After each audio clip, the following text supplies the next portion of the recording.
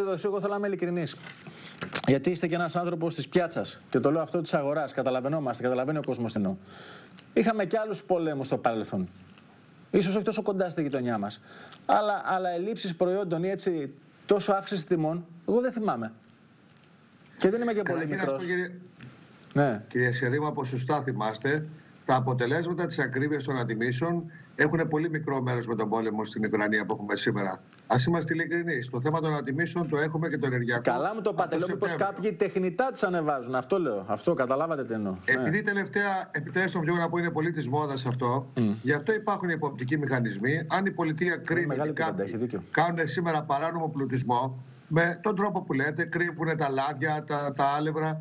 Δεν έχει παρά τον εποπτικό μηχανισμό που έχει να τον βάλει και να είναι πολύ συχνός ο πέλεγγι. Όμως το να το λες κάθε μέρα σημαίνει δηλαδή το σύνολο των επιχειρήσεων κάνουν εσχροκέρδια και το σκοπισμό απέναντι στους καταναλωτές. Όχι, σας δίνω την απάντηση. Συγγνώμη που διακόπτω τη σκέψη σας. Όταν, όταν αυτοί που ήταν εκεί σήμερα με τον Πρωθυπουργό λένε ότι τουλάχιστον το 70% των προϊόντων που έχει η λαχαναγορά, η λαχαναγορά, τουλάχιστον το 70% βγαίνει εδώ στη χώρα μας. Καταλαβαίνετε, θέλω να σας πω. Ε, δεν γίνεται να, να, να, να βγαίνουν εδώ τα μήλα και να σου λέει αυξάνεται η τιμή γιατί τα φέρνουν από την Ουκρανία. Ένα παράδειγμα λέω έτσι. Κοιτάξτε, εδώ να σας πω όμως ότι αν γνωρίζετε, οι οδηγοί των ιδιωτικών φορτηγών σήμερα λένε ότι δεν συνεχίζουν να κάνουν μεταφορές. Έχει αυξηθεί η μεταφορά τους κατά 1000 ευρώ, σταματάνε να δουλεύουν. Άρα πρέπει να καταλάβουμε πόσο μεγάλο ρόλο παίζει η αύξηση των καυσίμων. Άρα αυτό που αναφέρεται δεν είναι και τόσο σωστό, γιατί ξέρετε όσο αυξάνεται η τιμή σε αυτά τα προϊόντα και αυτό δεν πουλάει. Mm -hmm. Μπορώ να κάνουμε όμως συζήτηση ανάποδα, να σα πω κυρία Σιαδήμα. όσο ο καταναλωτής δεν έχει χρήματα, δηλαδή έχουμε μέσο όρο στο καλά τη οικοκυρά πριν από μια εβδομάδα. Αυτό είναι πολύ μεγαλύτερο. Σήμερα είναι 24% η άξιση που έχουμε. Σας διακόπτω και σας διακόπτω, βάζω κάτι πάνω στο τραπέζι. Το 84,7 σύμφωνα με τη Μάρκ τώρα πριν από λίγο στον Αντένα του κόσμου ανησυχεί για τις ανατιμήσεις και για την ακρίβεια. Ακριβώς. 84, δεν μιλάμε για συντριπτική δοση. Συγγνώμη, υπάρχουν και 16 που δεν ξέρω, ανησυχεί. Αυτό είναι η Ναι, 84,7. Μπορεί να μην ακούγανε καλά στο σταθερό. Τι ρωτάνε. λέει δεν ναι. ανησυχώ για τις τιμές. Ε, εντάξει, ε, μπορούν και αντέχουν έχουν. ναι. λοιπόν. ε, προσέξτε όμως κάποια νούμερα που νομίζω έχουν σημασία. 7,2% υπηρεσιά το πληθωρισμό τον Φεβρουάριο. Σήμερα είναι δεδομένο, όπως πολλές φορές είναι κάνω πάνω από 8,2%. Με τα σημερινά δεδομένα, κάπου στα μέσα Απριλίου θα φτάσουμε πάνω από το 9% πληθωρισμό. Αυτό σημαίνει ανατιμήσεις 35-40%. Άρα ουσιαστικά. Αυτό θέλω να καθορίσουμε, κύριε Πρόεδρε, γιατί σε αυτό έχετε δίκιο και είναι συζητήσεις που σπανίως ε, γίνονται στην τηλεόραση και χαίρομαι που κάνετε την επισήμανση. Είναι άλλο γενικός πληθωρισμός και άλλο πληθωρισμός που είναι σε αυτό που λέμε στο καλάθι της νοικοκυράς, στο λογαριασμό που έχει να χαλάσει το κάθε σπίτι, το κάθε νοικοκυριό το μήνα. Είναι άλλος εκεί ο πληθωρισμός. Σας θυμίζω, κύριε Σκουρή, ότι η πρώτη ανακοίνωση που βγάλαμε, εμείς ζητήσαμε να προστατευτούν τα νοικοκυριά. Όταν είπαμε θέλουμε μείωση του ΦΠΑ στα είδη πρώτης ανάγκης στο κανάλι νοικοκυριά από το 13% στο 6%. Και εξηγώ το γιατί. Πέρα από το κοινωνικό θέμα, όσο περισσότερο έχει διαθέσιμο εισόδημα τα νοικοκυριά καταναλωτής, έτσι μπορεί να δουλέψουν άλλες επιχειρήσεις. Και αυτό φαίνεται στην πράξη το λιανεμπόριο, η εστίαση, ό,τι δεν είναι αναγκαίο για να επιβιώσει κάποιος, σήμερα έχουν πτώσει 40 με 50% του τζίρου τους. Και αυτό θα συνεχιστεί. Δηλαδή, αυτό που δεν πρέπει να συνεχίσουμε να λέμε είναι ή το πόλεμο στην Ουκρανία σταματήσει, το όχι μακάρι να σταματήσει. Έχουμε αύξηση του ενεργειακού που με όλο το 2022 και όπως λέει η κυρία Λαγκάρντ, που το έχετε πει εσείς, αν θυμάμαι καλά, θα έχουμε και ένα μεγάλο μέρος του 2023. Άρα πρέπει να ψάξουμε να βρούμε τη ρίζα του προβλήματος. Και η ρίζα του προβλήματος είναι κυρίως το ενεργειακό. Εδώ λοιπόν σας λέω και το ενεργειακό εντάξει. Όταν βγήκε η απόβαση, τα μέτρα της κυβέρνησης που είπα είναι σημαντικά, ένα δισ. εκατό εκατομμύρια. Ε, το είχατε πει από την πρώτη μέρα κιόλας εδώ πέρα, ότι είναι σωστή κατεύθυνση. Ναι. Σωστά, αλλά δεν είναι αρκετά. Α, ναι, το λέω, αυτό λέω. Προσέξτε κύριε Σιαδήμα. Όταν λοιπόν είχε το πετρέλαιο, ο, έχει 2, 2 ευρώ και δίνεις 15 λεπτά, αυτό είναι, είναι αριθμητικό. Όταν θα πάει 2,5 ευρώ, τα 15 λεπτά θα έχουμε εξατμιστεί. Θα έχουμε εξατμιστεί και τις ανατιμήσεις. Άρα, Άρα η πρότασή μας Επιτρέψτε μου, νομίζω θα γίνει καθαρό αυτό που Ναι, για πείτε το. Αν δεν καταφέρουμε ο ειδικός φόρος κατανάλωσης και θα το κάνει κάποια στιγμή η κυβέρνηση, να σταματήσει να υπάρχει πέρα από την τιμή της αύξησης, δηλαδή χωρίς να πειράζουμε τον προπολογισμό, στην τιμή του Νοεμβρίου, όπως σας θυμίζω, κάναν πολλές χώρες και η Κύπρος. Δηλαδή η Κύπρος έχει σήμερα τη βενζίνη 1,4 ευρώ. Τι έκανε, τον ειδικό φόρο κατανάλωσης τον περιόρισε ή σε από ένα βαθμό και πάνω δεν τον έχει. Δεν μειώθηκαν τα έσοδα της πολιτείας. Γιατί θέλω να είμαστε ειλικρινείς. Ξέρουμε από οικονομία Τα χρήματα που δόθηκαν είναι κυρίως από τον ειδικό φόρο κατανάλωσης που υπάρχει γενικώ στα ενεργειακά. Ε, ξαναγύρισε. αν το... Ακριβώς. Δηλαδή τα παίρνει από τη μία τσέπη επιτρέψεων, τα δίνει από την άλλη. Αν λοιπόν η ουσία είναι ότι αν δεν βάλεις ένα φρένο στα ενεργειακά και απόδειξη ότι ό,τι λέγαμε πριν λίγες μέρες εδώ μαζί σας, σήμερα από ό,τι ακούσατε και ο κ. Σταϊκούδης και ο Πρωθυπουργός ζητάνε την παρέμβαση της Ευρώπης για να μπει πλαφόν σε εταιρείες ενέργειας. Οι εταιρείες ενέργειας αυτή τη στιγμή κάνουν αυτό που λέμε τη μεγαλύτερη εσχροκέρδεια. Γιατί ξέρετε καλά, ψάχνουμε το πρόβλημα, το πρόβλημα είναι εκεί. Αν αυτό δεν σταματήσει, κάθε προσπάθεια θα πέσει στο κενό στο Γιατί χρειάζεται όμως αυτό να γίνει σε επίπεδο Ευρώπης, μπορεί να γίνει σε εθνικό επίπεδο. Έγινε σε κράτη. Δεν λέω ότι η Γαλλία μπορεί να πάει και άλλα. Συμφωνώ, Συμφωνώ απόλυτα, κύριε Σκουρή. Γιατί στην Ευρώπη δεν παίρνει την απόφαση. Πολλές αποφάσεις δεν παίρνει. Δεν θα πει ποτέ πλαφόν. Συμφωνώ απόλυτα μαζί σας. Οι υπουργοί μας είπαν ότι εμείς χρειαζόμαστε και ευρωπαϊκή απόφαση. Εγώ λέω, όπως λέτε και εσείς, δεν χρειάζεται.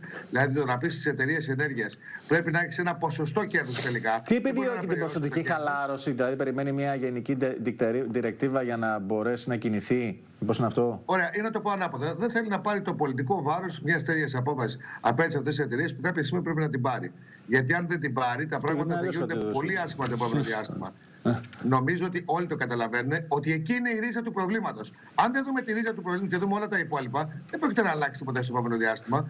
Ήδη σας λέω και το ξέρετε, υπάρχουν επιχειρήσεις που το ρεύμα είναι ακριβότερο από το ενίκιο. Το ξέρουμε. είναι αυτό. Και, Τώρα, και είμαστε και μια χώρα με ενεργοβόρες επιχειρήσεις ακόμα και στον τουρισμό, έτσι. Ήθελα να σας ρωτήσω το εξής, Πρόεδρε. Επιτρέψτε στο, στον τουρισμό είναι το 40% του κόστους ε, που έχουν λειτουργία. Είναι, είναι, είναι ναι, ναι, ναι, ναι. Γι' αυτό το είπα. Ήθελα να σας ρωτήσω το εξής. Βλέπω σήμερα και μου κάνει πολύ μεγάλη εντύπωση αυτό που ανέδειξε η καθημερινή, εμείς το λέγαμε για χθες προχθές εδώ, για μια μονομερή αλλαγή των ε, σταθερών τιμολογίων ρεύματος από τους ε, παρόχους. Τα σταθερά είναι τα κλειστά συμβόλαια που είχαν ναι, υπογράψει. Ναι, ναι, ναι, ναι. Και λέει είναι τα ψηλά γράμματα πάνω. Ποιος θα δει τώρα τα ψηλά γράμματα που υπάρχουν πάνω στους λογαριασμούς, όποιος παίρνει λογαριασμούς, ε, καταλαβαίνετε πώς έχει. Αυτό δεν μπορεί να αντιμετωπιστεί. Γιατί πρέπει να πλανιέται, να αφήνεται μήνες τώρα και να συμβαίνει αυτό. Κοιτάξτε, κύριε Σκουρή, επειδή μου αρέσει όταν τα λέμε επιτέλους από τη λέξη τσεκουράτα, εδώ η απόφαση είναι ότι η κυβέρνηση τον καλεί και του λέει: Ελάτε εδώ, κύριε, πει το συμβόλαιό σας είναι τίμνε, τετράμινης διάρκειας. Πώς σήμερα έχουμε τόσο μεγάλες ανατιμήσεις όπως συμβαίνει και στα κάψιμα. Τα κάψιμα έχουν συμβόλαιο. Δεν γίνονται ξαφνικά μια μέρα στην άλλη. Το ίδιο συμβαίνει και με αυτέ τι εταιρείες. Η κυβέρνηση πρέπει να έχει την πολιτική βούληση, να τους καλέσει και να δει πόσο κοστίζει το προϊόν που πουλάνε η ενέργεια, από ποια συμβόλαια προκύπτουν αυτέ τις μεγάλες ανατιμήσεις. Επειδή είναι χρηματιστηριακό προϊόν, η κυβέρνηση το έχει αφήσει το θέμα με αποτέλεσμα αντί να ασχοληθεί με αυτό που σωστά αναφέρεται και όσο δεν το λέει δεν προχωράμε πουθενά, αύριο θα δούμε και συγκρούσεις μεταξύ των εταιριών αυτό για μερίδιο της αγοράς, πάντα στις πλάτες των επιχειρήσεων και του κοινωνικού συνόλου. Mm-hmm. Είναι απόλυτα σωστό πάντως επιτρέψτε μου ότι αυτό το θέμα δεν έχει καμία σχέση ή μικρή σχέση με τον πόλεμο. Αυτή η καραμέλα των τελευταίων ημερών νομίζω ότι πρέπει να σταματήσει. Μα τώρα, δηλαδή, μας τώρα, λόγω του πολέμου δεν έχουμε αγκουράκια. Δεν λαϊκίζω. Σωστά. Προσέξτε.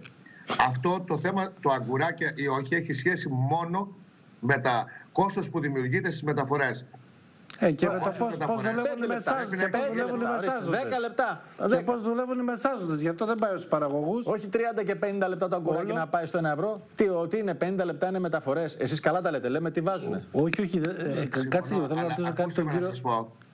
Ε, Εμείς είμαστε πάντα υπέρ του πεπτικού μηχανισμού. Σε όλα αυτά τα διλήμματα η κυβέρνηση έχει το μηχανισμό, αν θέλει να τα σταματήσει. Η εκτίμησή μου είναι ότι δεν είναι αυτό το μείζον θέμα. Μπορεί να μας φαίνεται μείζον. Το μείζον θέμα είναι το ενεργειακό που σας λέω στην ίδια εκπομπή σας. Δεν έχετε ακούσει αγρότες που λένε φέτος δεν θα βάλουμε σπορά γιατί δεν βγαίνουμε να λειτουργήσουμε. Από το, ναι, ναι. Ε, μας το έλεγε και ο Γιώργος Βαρεμένος. Μετά με τον Μπάμπη τον Παπαδημητρίο τους έχουμε εδώ λίγο αργότερα, έτσι δεν είναι. Ήθελα να σας ρωτήσω το, το, πριν ξεκίνησε ο πόλεμο. Ναι, πριν ξεκίνησε.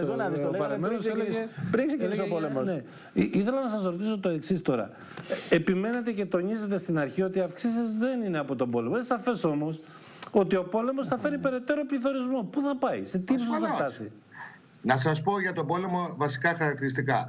Βεβαίως έχουμε πρόβλημα με τα σιτηρά, πολύ μεγάλο, το οποίο δημιουργείται. Και τι σημαίνει αυτό, δεν θα έχουμε έλλειψη, αλλά οι τιμές που τα παίρναμε από Ουκρανία-Ρωσία ήταν πολύ μικρότερες. Αυτό θα τα πάρουμε από μια άλλη αγορά που θα βρεθεί αυτή η αγορά. Μπορεί να έχει μια καθυστέρηση, αλλά το κυρίαρχο θέμα είναι αυτό. Το δεύτερο που δημιουργείται είναι ελληνικές επιχειρήσεις που εξάγανε σε Ουκρανία-Ρωσία κυρίως οπροκυπευτικά προϊόντα, τα οποία σήμερα έχουν τεράστιο θέμα. Πρέπει να βρουν άλλες αγορές να πάνε. Αυτά είναι κάποια ζητήματα που υπάρχουν και βεβαίως θα φανεί και ένα θέμα, μικρό ή μεγάλο, θα δείξει την εποχή του στον τουρισμό που έχουμε από Ουκρανία-Ρωσία με κυρίαρχα αποτελέσματα αρνητικά, κυρίως στη Βόρεια Ελλάδα, Χαλκιδική Κατερίνη, που η μεγάλη μάζα του πληθυσμού των τουριστών που ερχόντουσαν πήγαιναν σε αυτές τις περιοχές.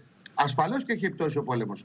Εξήγησε το, για το ενεργειακό δεν είναι πολύ μεγάλη βαρύτητα του κόστους που έχουμε ο πόλεμος. Στα υπόλοιπα ζήματα ασφαλώς και υπάρχει θέμα. Μάλιστα. Λοιπόν, κλείνοντας, γιατί θέλω να πάμε και στον κύριο Τσαγκάρη, τον Γενικό Γραμματέα του Εμπορικού Συλλόγου. Έχετε κάνει κάποια, ε, έχετε πάρει κάποια πρωτοβουλία, οτιδήποτε γενικότερα; Ακούω όλο και περισσότερο. Τι κάνουν αυξήσεις τα ενίκια κάποιοι, κύριε Πρόεδρε; Μπράβο. Είναι, ε, συγγνώμη κύριε Σιαδήμα, έχετε απόλυτο δίκιο. Κοιτάξτε.